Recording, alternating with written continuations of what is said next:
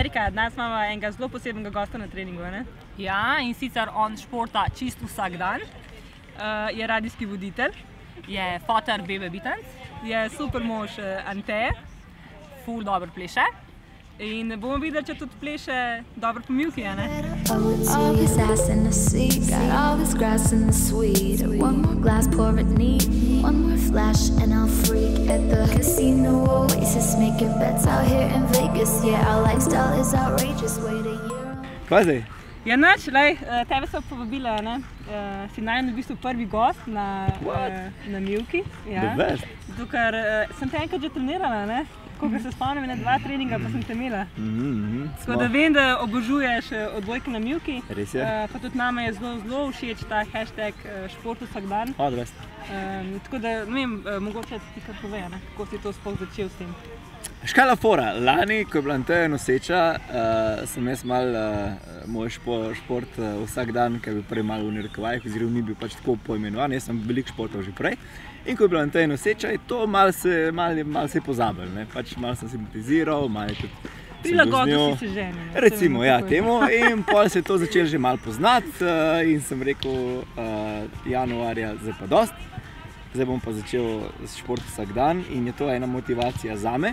Zato, ker vem, da moram nekaj narediti vsak dan in pol to naredim. Zato, ker imam v glavi, da nekaj moram objaviti na Instagram uh, in moram nekaj narediti, in pol, pol se to kar dogaja. In se je full prijel. Je kaj pa si tudi, recimo, kakšne druge tako uh, navdušen, tudi vem, druge slovenske tvoje followerje? Ja, uh, vse pozna, da vedno več ljudi mi tako, on, oni tudi označijo hashtag ali mene označijo. Uh, Lik danes mi je tudi ena YouTuberka mi je poslala, kao, uh, veš, kako poskrbiš za šport vsak dan, tudi na morju, najdeš apartma, ki je na vrh klanca in pa imaš še kao vsak dan šport vsak dan.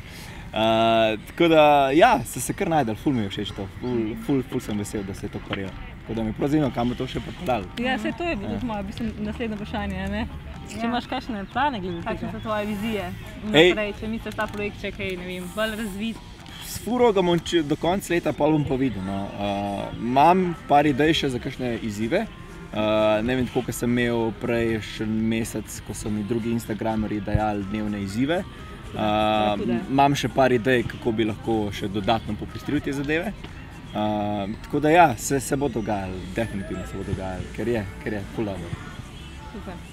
Veš, kaj mi je bilo ful dobro pri, pri, tem, pri tej zadevi, ne? ker ni dejansko um, tisto, da greš pač pred poletjem v fitness in se čist izmučeš eh, do konca in pol ti je šport do tukaj gor. Mhm. Uh, ampak mi je res čisto, ne vem, ful mi je všeč, ker vsak dan najdeš nekaj, pa tudi če še toliko mehkega, veš, da se nekaj športno udejstvuješ. Točno to, Dosti je bolj svobodno, pa neobvezujoče se mi zdi. No? Tako, ja, Bolj pa- free, pač pa- ti tam najdeš tisti pol ure na dan, da pač narediš to. nekaj od športa. Ne? Pa zase je, si vzameš pač čas, tistih 10 minut najmanj. Ne? Če že res imaš gužvo cel dan, pomeni, da zdaj moram pa Ja. še šport vsak dan, pa narediš zvečer, preden greš spat en stretching. Ne? Tako, To je ful pomembno. to, In to, ja, ja. ali pa se malo povalčkaš, narediš en stretching, malo se pretegneš, kakšno jogo najdeš na YouTubu. Tako res se da hitro nekaj najti. Ne?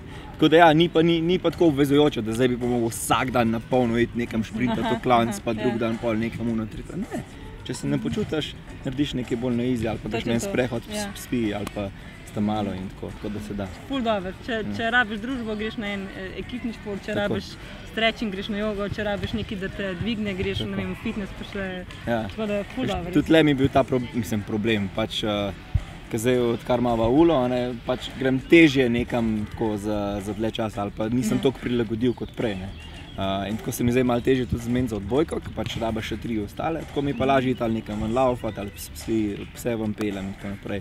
Ampak zdaj pa vedno večje, kaj je ula, vedno lažje gremo ven. Ja, tako da, ja, the best. Malo bo še ula zdravo naupala. Ja, ja, ja. Še malo, še malo. Ja, že gledam te vozičke, da, da, da bom zraven jo lahko vozil. da- Ja, ja, ja. Se Ja. pravi, nisi še spustil dneva, da ne bi bil pač neki športnik. Ja, ne. ne. Bravo, je ful dobro.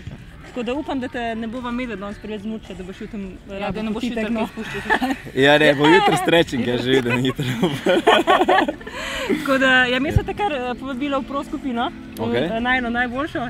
eh, Tako da upam, da ti bo všeč. Ajde, dajmo probati, da kar akcija. Koliko še kaj znam, ajde. Ja, ja. Summer comes around, are you down? Are you down again? Touchdown at the ground,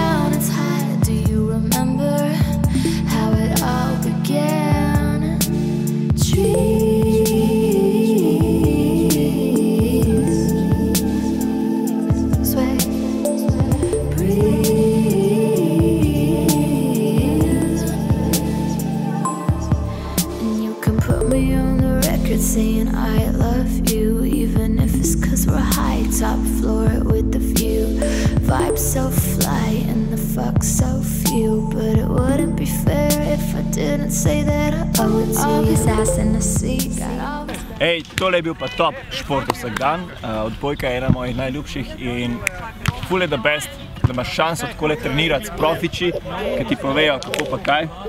Tako da zdaj moj frendi, s katerim ponovadi igrajo, ker pasta se. Ula pa tudi uživa. A ne? Kaj smo tako za Švicem? A, sonce, sonce. Sonce je pa kar... So I died, the summer comes around